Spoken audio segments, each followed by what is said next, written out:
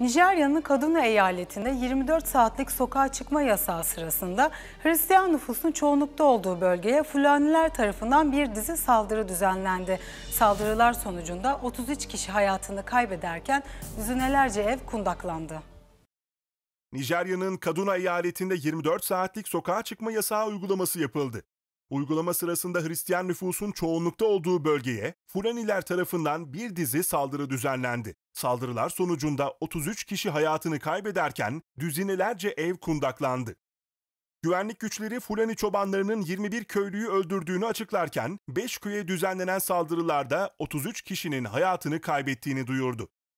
Hristiyan Dayanışma Birliği silahlı saldırganların Epiasim adlı köyde 6 kişiyi öldürdüğünü ve 20 evi yaktığını, Kibori köyünde ise 7 kişiyi öldürdüğünü bildirdi. Yerel basına konuşan saldırıdan kurtulan bir kişi, güvenlik güçlerinin saldırı bittikten sonra olay yerine geldiğini söyledi. Bu yılın başlarında yayınlanan Nijerya, savunmasız Hristiyanların öldürüldüğü yer başlıklı özel bir raporda, Anambro merkezli sivil toplum örgütü olan Uluslararası Sivil Özgürlükler Topluluğu ve Rule of Law tarafından Nijerya'da 2015 yılından bu yana Fulani çobanlarının, Boko Haram militanlarının ve haydutların saldırıları nedeniyle 11.500 Hristiyanın hayatını kaybettiği tahmin ediliyor.